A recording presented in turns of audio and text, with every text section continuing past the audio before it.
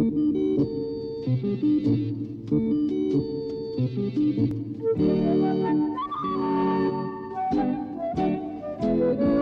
town is full of buildings, some tall, some short, some wide, and some narrow. The buildings are flats and houses and factories and shops. They're built in streets. The streets have cars and buses and lorries driving along them. A river runs through the middle of the town. The river has large boats and small boats on it.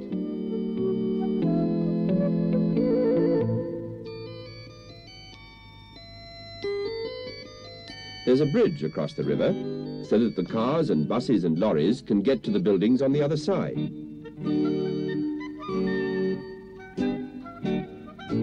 Cars and the buses and the streets are full of people.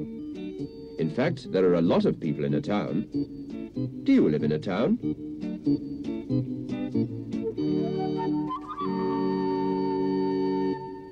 Mary, Mungo, and Midge live in this town. They live with Mary's mother and father in this tall block of flats.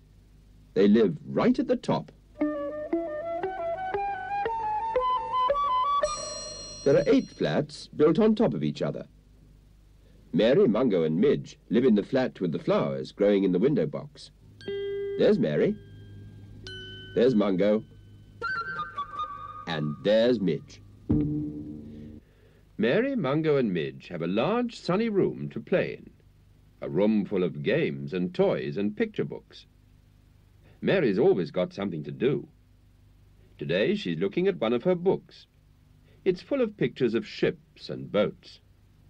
Mungo is very interested. There seem to be so many different sorts of boats. Mary's other friend is Midge Mouse. He's usually very difficult to find because he's so small and runs very quickly. He's inquisitive. That means he's always trying to find out things. Ah, there he is, beside Mary's toy boat. It's a yacht. Her father has promised to take them to the pond to sail it. Look, Midge has got his flute. Midge likes music. He likes it so much he's learnt to play a flute but he only knows one tune so far. You listen.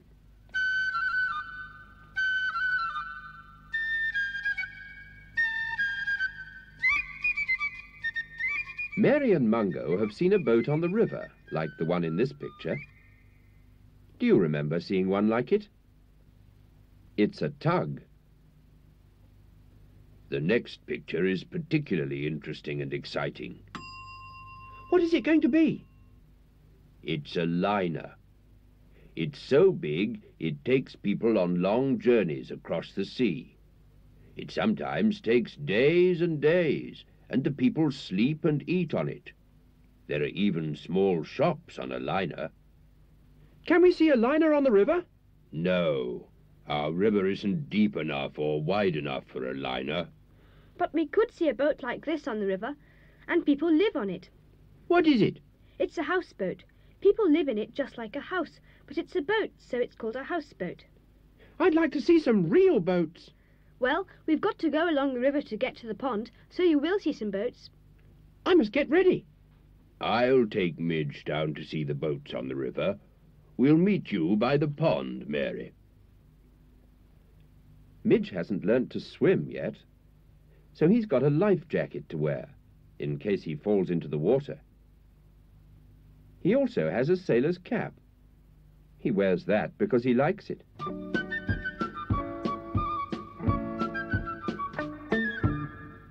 Mary's taking her boat, so I'll take my flute. Mungo, what will you take? I'm taking you. That's quite enough for me to look after. As they live in a flat right at the top of the building, they go down to the street by the lift. They have a special way of doing it.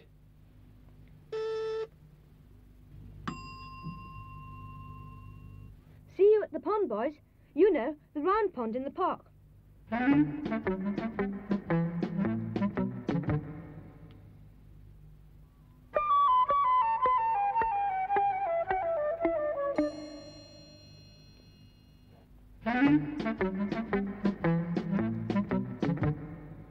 must remember to make sure the lift door is shut.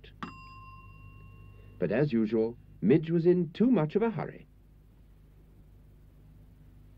He was already running through the grass and the flowers on his way to the river.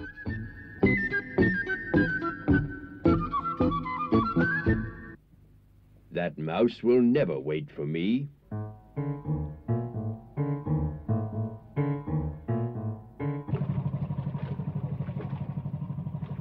Midge got to the river just as a long, narrow boat was going by. It was full of wood. There was a dog on it, too. It barked hello. Then there was a different bark from a different dog. That's a barge. It's rather like a lorry.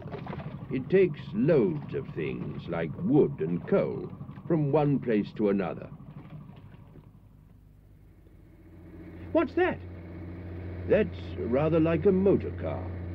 It's got an engine, and it takes people for rides, like a car. But it's a boat, so it's called a motorboat. What's that? That's a rowing boat. The man is pushing the boat through the water with the oars.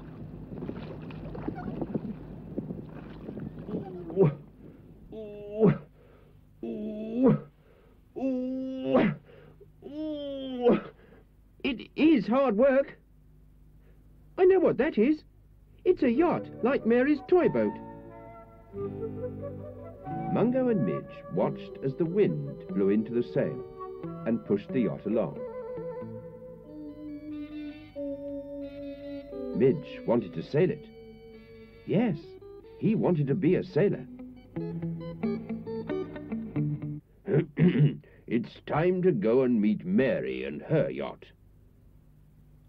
But Midge had already run off to the park. He had one of his good ideas. It was a fine day, and the park was full of people enjoying the sunshine. Some of them were flying kites. There were quite a lot of toy boats on the pond, and quite a lot of people watching them. Midge was very excited and very interested. But he had to go very carefully through the grass to make sure he didn't get trodden on.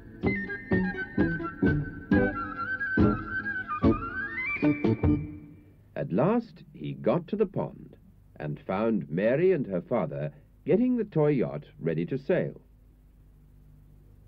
Oh, there you are, Midge. Will you hold on to my boat, please, while we go and get an ice cream? And mind you don't fall into the water. You can't swim yet. Couldn't be better, thought Midge, as Mary went away, because it fitted in very well with his good idea. It was only a toy boat for Mary to play with, but it was just the right size for Midge to sail. Midge had heard of men sailing round the world on their own. He wasn't quite sure how big the world was, but he knew it was round, and this pond was round. So he would pretend it was the world and sail round it. Mary was too busy eating her ice cream to see what Midge was up to. He was still holding the string, but now he was on board the boat. Yes, he would take his flute. Sailors like to play music in their spare time. Everything aboard and shipshape. Then the wind started to blow, and the boat began to move.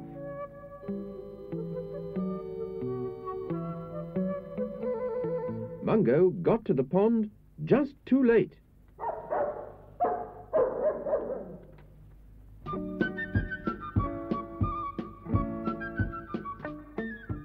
Midge watched Mungo getting smaller and smaller as the boat sailed further and further away. It was very exciting to see the sail full of wind and to feel the boat moving through the water. This is the life for me, and it's no good Mungo barking at me. Midge sailed round the pond. He was very happy. The sun was shining. The only sound he could hear was the boat going through the water and the noise of the wind through the sail. Whack, whack, whack, said a duck as she swam past. Whack, whack to you, said Midge, rather rudely. He felt very pleased with himself and very proud because he was sailing the boat all alone. But then suddenly he noticed that he wasn't moving any more. The wind had stopped, and so had the boat. Midge wasn't quite sure what to do now. There was no wind to blow him along. He couldn't stay forever on the pond. He'd forgotten to bring any food with him, and he couldn't swim.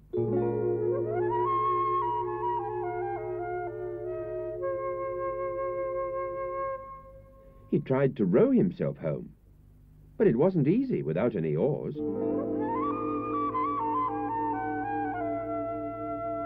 He could use his flute as an oar, but he didn't want to get his flute wet any more than he wanted to get himself wet. Then he had another idea. This one was much better. He would play his flute. He knew dogs could hear better than people. Perhaps Mungo would hear him. Midge had sailed so far away that Mungo could only just see the boat. But what was that? That silly mouse has got stuck in the water. I suppose I'll have to rescue him. Oh, oh, the water's cold.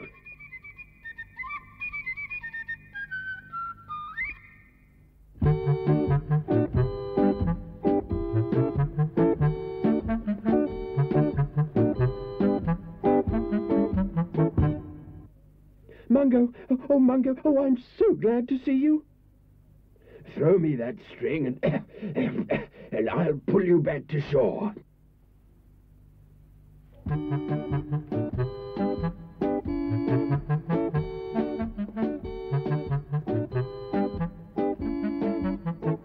Midge, you must never go out in a boat on your own, especially as you can't swim. I... I wanted to go round the world. Round the pond, I mean. You will have to find out how to sail properly first, and how to swim. Oh, I don't like cold water. It was time to go home. Mary put Midge and his flute into her pocket to make sure neither of them got lost. Mungo shook himself dry. Oh, what a silly mouse. He doesn't even know how big the world is. When they got home, Mary and Mungo showed Midge a book about the world. It had pictures of all the countries and all the seas. When Midge saw how much sea there was, he thought he ought to learn to swim straight away.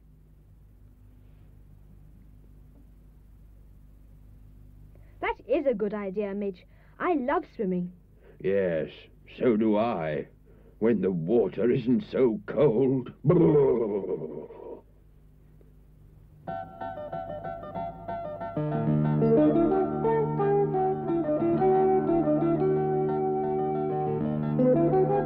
you.